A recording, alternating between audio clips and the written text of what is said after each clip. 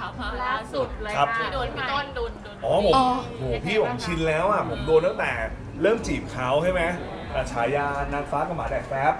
ก็มาโดยตลอดจนล่าสุดก็โดนอีกขนาดมีลูกไปแล้วสองคนก็โดนเออทำไมสามีเขาจะว่าทำไมผัวขี้เหร่จัง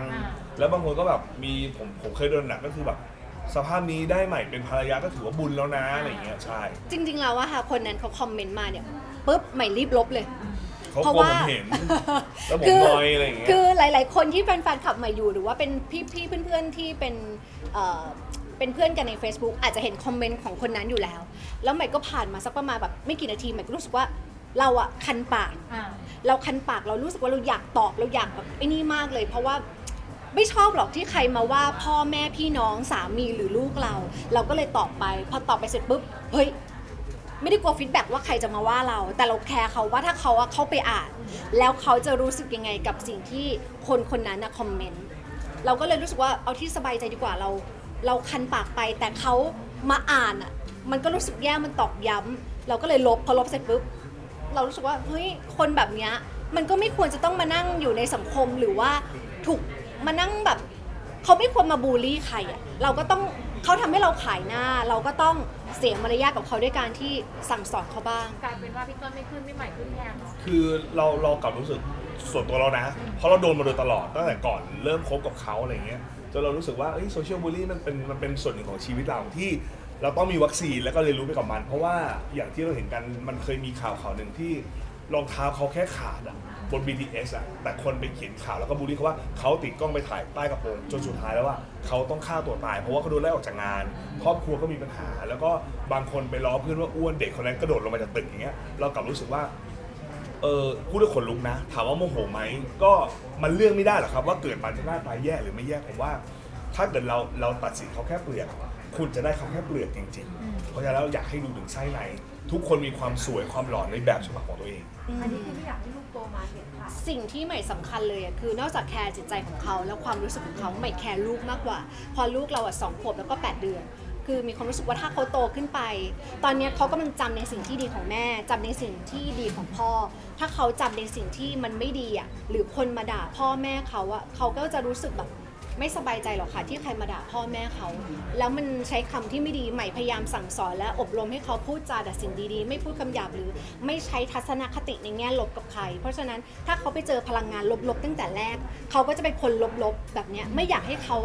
โดน feedback แบบนี้ทางอ้อมแล้วกลายเป็นคนลบๆในสังคม แต่ว่าถือว่าโชคดีครับที่ลูกผมได้แม่งคู่นะฮะก็พี่ๆก็ไม่สามารถที่บอกว่าไปจัดการกับ ลูกผมทั้งสองคนได้ก็ถือว่าโชคดี ไม่หรอกคืออีกอย่างหนึ่งมันก็ถือว่าดีนะพี่ เพราะว่าถ้าถ้ามีคนมาบูลลี่พี่แบบเนี้ยพี่จะได้เขาเรียกว่าอะไรคะพัฒนาตัวเองและกลับมาใช้ดาของเราไงเอาไม่ใช่อ๋อเอออ่าถูกไหมเพราะว่าดา มันกู้ผิวหน้าของหนูแล้ว ดามันก็สามารถกู้ผิวหน้าของพี่ได้ พี่เอาขอบคุณคำเขาแหละ อะไม่พี่เอาคำที่ทุกๆคนหรือว่าไอ้คนนั้นอะมาด่าพี่หรือมาบูลลี่พี่ครับแล้วพัฒนาตัวเองด้วยการที่ใช้ผลิตภัณฑ์ของเราอะให้มันดีให้มันหน้าดีขึ้น แล้วก็เอาหน้าของเราอะกลับไปสู้เขาดีกว่า ก็ฝากบอกถึงคนที่เขียนคอมเมนต์นั้นแล้วกันเนาะว่าเดี๋ยว deliver เสร็จมาเอาชื่อที่อยู่มานะครับ อ่า เราจะส่งผลิตภัณฑ์ไปให้คุณเลย จะฟ้องไหมพี่ใหม่เพราะว่ามันน่า จริงๆ แล้วว่าลึกๆใหม่อะใหม่ไม่อยากฟ้อง เพราะใหม่มีความรู้สึกว่า อืมฟ้องไปก็เท่านั้นเพราะว่าเปิดไปดูมันก็เหมือนเป็นอวตาร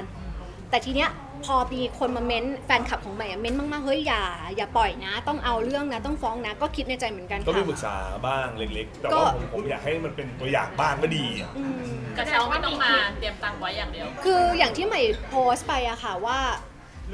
ถ้าคุณไม่รู้จักคำว่ามารยาทเราไม่มีการขอโทษ ก็มาสะกดคำว่ามารยาทต่อหน้าศาลละกัน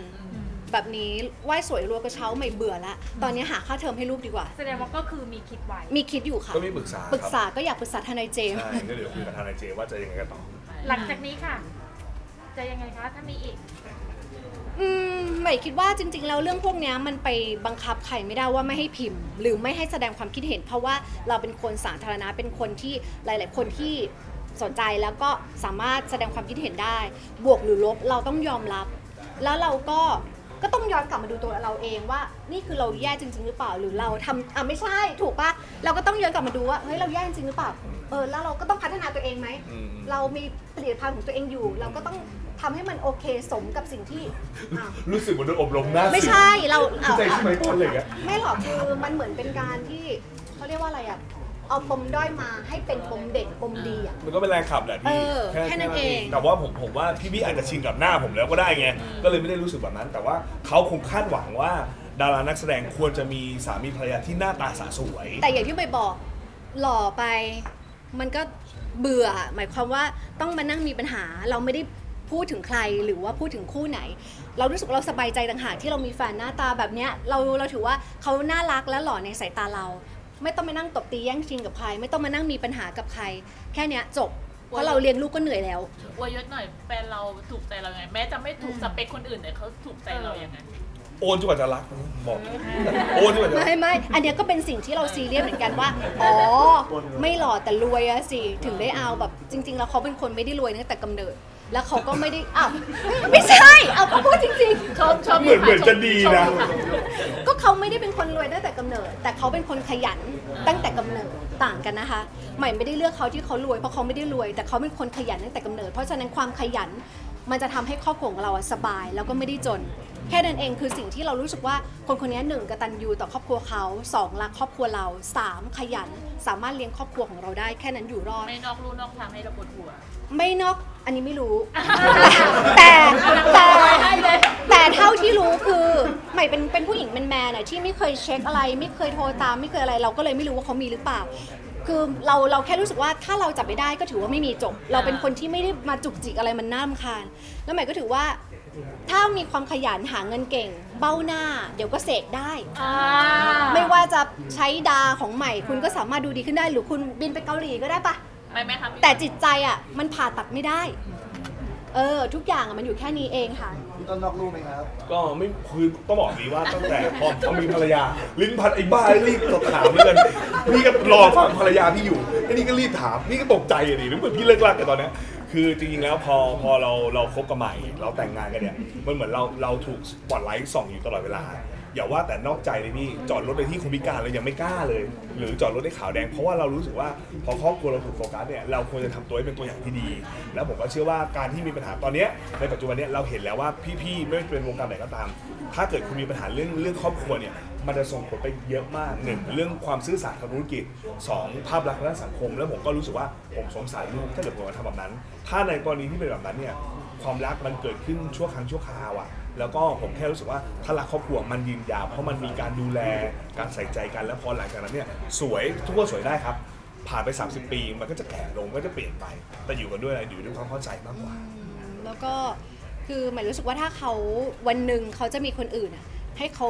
คิดถึงวันที่เราลำบากมาด้วยกันยังไม่มีเหมือนไม่ไม่ไม่ไม่ใช่เป็นลมไหมไม่ใช่เราเราเราคิดไว้แบบนี้ว่า ถ้าเขาจะมีคนอื่นอะ เรารู้สึกว่าให้เขาคิดถึงวันที่เราอะลำบากด้วยกัน แล้วก็ให้คิดอยู่ตลอดเวลาว่าทุกวันเนี้ยเลี้ยงครอบครัวเขาว่าดีหรือยัง เลี้ยงครอบครัวในปัจจุบันที่มีลูกของเราดีแล้วหรือยัง ถ้าเลี้ยงครอบครัวเขาได้แล้ว เลี้ยงครอบครัวเราดีแล้ว พอแล้วคุณจะไปมีก็จบ แต่ถ้าคุณยังเลี้ยงครอบครัวคุณไม่ดี คุณยังเลี้ยงครอบครัวตัวเองของเรายังไม่ดี อย่าลิอาจไปมีใครที่ทำให้ครอบครัวพัง เพราะว่าวันนี้อย่างอยากเปิดธุรกิจใช้เงินเยอะหลายหลายสิบใช่ไหมครับ แล้วก็พอย้อนกลับไปในวันที่กินบะหมี่ที่มีตังค์200กว่าบาทโดยที่ไม่มีใครรู้กินบะหมี่ข้างทางวันละ35บาทหลายหลายเดือนติดต่อกัน แล้วพอมาถึงวันนี้เราอะรู้สึกว่าเฮ้ยเรามาด้วยกันอะเพราะฉะนั้นแล้วอะไรก็ตามพอมันดีขึ้นแล้วก็ต้องอยู่ด้วยกันแค่นั้นเองครับพี่